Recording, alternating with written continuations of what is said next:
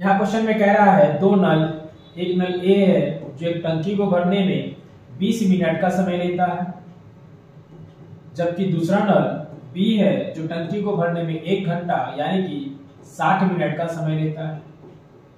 आगे कहता है 10 मिनट तक दोनों नलों को खोला जाता है, इसके बाद नल ए को बंद कर दिया जाता है। तो बताना ये है कि शेष भाग को नल बी कितने समय में भरेगा? तो सिंपली हम क्या करेंगे, इसका एल्सियम लेंगे, जो कितना निकल कर आएगा? 60 निकल कर आएगा। अब हम ये मानकर चलेंगे कि टंकी का कैपेसिटी जो है वो 60 यूनिट का है। 20 मिनट में ये 60 मिनट भरता है तो एक मिनट में तीन भरेगा। 60 मिनट में ये 60 भरता है तो एक मिनट में एक भरेगा। अगर दोनों मिल गया तो तीन और एक, चार मिनट भरेगा। दोनों टंकी एक साथ दस मिनट तक काम कर रहा है।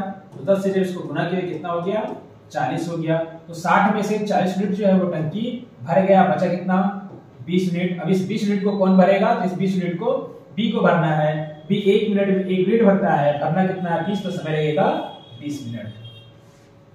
यहाँ क्वेश्चन में कह रहा है कि एक नल है जो टंकी को भरने में छह मिनट लगाता है बी दूसरा नल है जो टंकी को भरने में सात मिनट का समय लगाता है।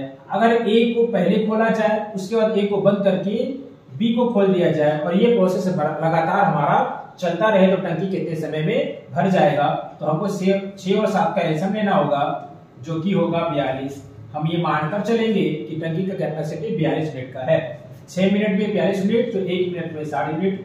सात मिनट में बयालीस मिनट तो एक मिनट में छह मिनट। यानी कि पहले टंकी सात भरेगा, फिर भरेगा।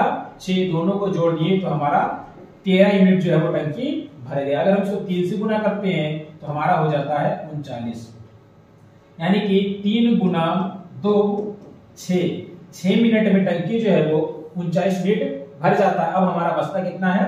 तीन मिनट अब इस तीन मिनट को कौन भरेगा? तो इस तीन मिनट को भरेगा ए तो को कितना समय लगेगा?